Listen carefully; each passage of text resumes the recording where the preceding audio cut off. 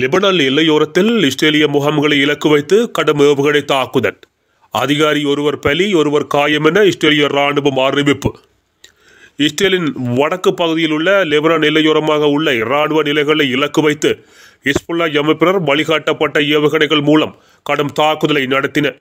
இந்த தாக்குதலில் தமது சாயந்தர அதிகாரி ஒருவர் காயமடைந்துள்ளதாகவும் ஒருவர் கடந்த வெள்ளிக்கிழமையன்று நடத்தப்பட்ட தாக்குதலில் பலியாகியுள்ளதாக இஸ்ரேலிய ராணுவம் தெரிவித்துள்ளது. வளமையாக பலி எண்ணிக்கையை அறிவித்து வரும் இஸ்ரேலிய ராணுவம் தற்பொழுது தமது அதிகாரி ஒருவர் காயமடைந்துள்ளதாக அறிவித்துள்ள இந்த செய்தியானது சந்தேகங்களை கிளப்பி இருக்கின்றது. அவ்வாறு இந்த தளபதி மிக ஆபத்தான நிலையில் காணப்படுவதாகவே நம்பப்படுகிறது. இலக்கும் நிலையில் உள்ள தளபதி மிக விரைவில் உயிரிழந்து விடுவார் என்பதைப் போலவே தற்பொழுது அதிகாரி ஒருவர் காயமடைந்துள்ளதாக இஸ்ரேல் தரப்பு தெரிவிக்கின்றது.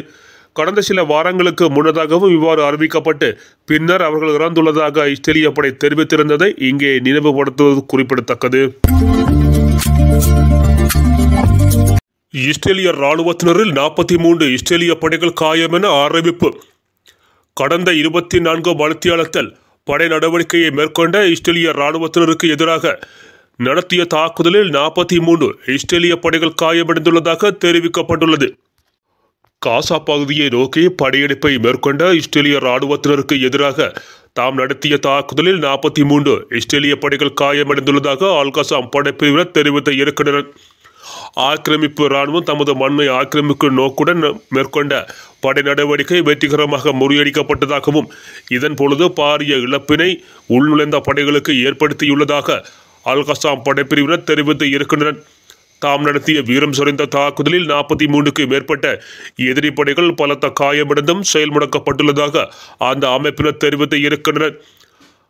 டாங்கிகள் சாகிதம் பாரிய படை நடவடிக்கையை மேற்கொண்டு உடறுப்பு தாக்குதலை மேற்கொண்டு உள்ளுழைந்த படைகள் மீது நடத்தப்பட்ட தாக்குதலிலேயே இந்த பெரும் இழப்பினை தாங்கள் ஏற்படுத்தியுள்ளதாக அல் கசாம் படைப்பிரிவினர் தெரிவித்து இருக்கின்றனர். எண்பது நாட்களை கடந்து தொடரும் இந்த கொடிய போரில் இஸ்ரேலிய படைகள் பலமாக அடிவாங்கி சுருண்டுள்ளது. எனினும் தமது வெற்றியை பறிக்கின்ற நோக்கில் தமது நடவடிக்கை மேற்கொள்ளப்பட்டு வருவதாகவும் வடக்கு காசா பகுதியில் ஆறு முக்கிய முன்னரங்கை தாம் கைப்பற்றியுள்ளதாக இஸ்ரேலிய படைத்துறையினர் தெரிவித்து இருக்கின்றனர். அவ்வாறு கைப்பற்றப்பட்ட அந்த முன்னரங்களில் இருந்தே எவ்வாறு இந்த அல்கசாம் படைப்பிரிவினர் தாக்குதல் நடத்துகின்றனர் என்பதற்கான கேள்விகளுக்கு இஸ்ரேல் படைகள் பதிலளிக்கவில்லை. தொடர்ந்தும் தாம் வெற்றிகரமான தாக்குதலை நடத்தி கொண்டு இருப்பதாகவும் இஸ்ரேல் படைகளுக்கு பலத்த இழப்பினை ஏற்படுத்தி கொண்டுள்ளதாக அல் கசாம் படப்பிரிவினர் காணொலி வாயிலாக வெளியிட்டு பரபரப்பை ஏற்படுத்தி இருக்கின்றனர்.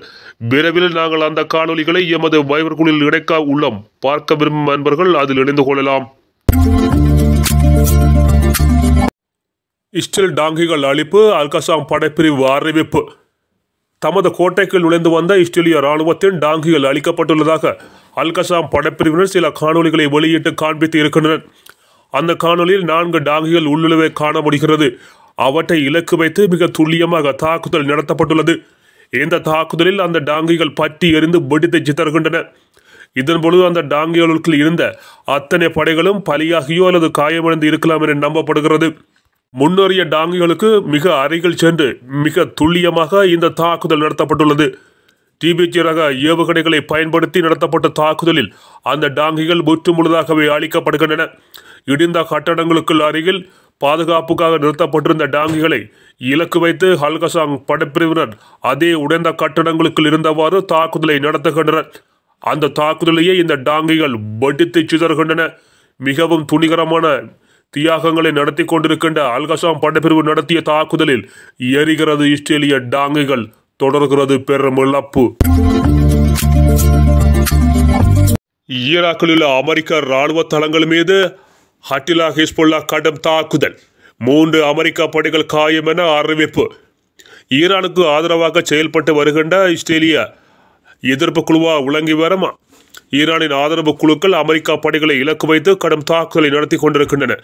ஈராக் பகுதியில் ஈராக்குடைய இராணுவ முகாம்களை இலக்கு வைத்து நடத்திய கடும் ஏவுகணை தாக்குதலில் தமது படைத்தரப்பில் மூன்று பேர் படுகாயமடைந்துள்ளதாக அமெரிக்கா படைகள் தெரிவித்து இருக்கின்றன.